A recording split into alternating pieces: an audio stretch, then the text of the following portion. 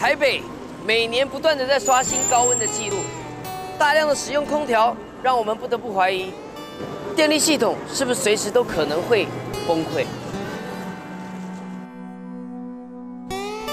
只要一场大停电，城市一切的机能就会瞬间停摆，而在城市的上空，好像随时随地的盘旋着一个无形的杀手，可能在一天之内就夺走数十条，甚至数百条的人命。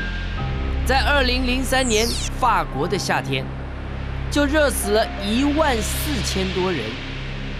根据联合国的统计，温室效应已经让全球平均气温比过去的一百年上升了摄氏零点六度。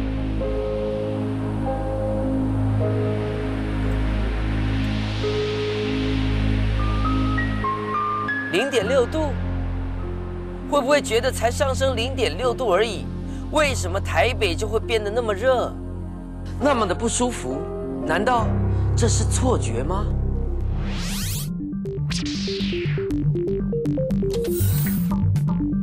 因为台湾都会地区提高的温度超过了世界平均的两倍，而且增加的速度会越来越快。未来台北市最高温度会不断的突破，平均温度。也会快速的上升。从二零零二年开始，连续十年来，每年八月，台湾平均温度最高的地方几乎都是在台北，而高雄、台南、屏东、台东，在夏天的温度都没有台北热。那为什么位于亚热带的台北，反而比热带的南台湾温度还要高呢？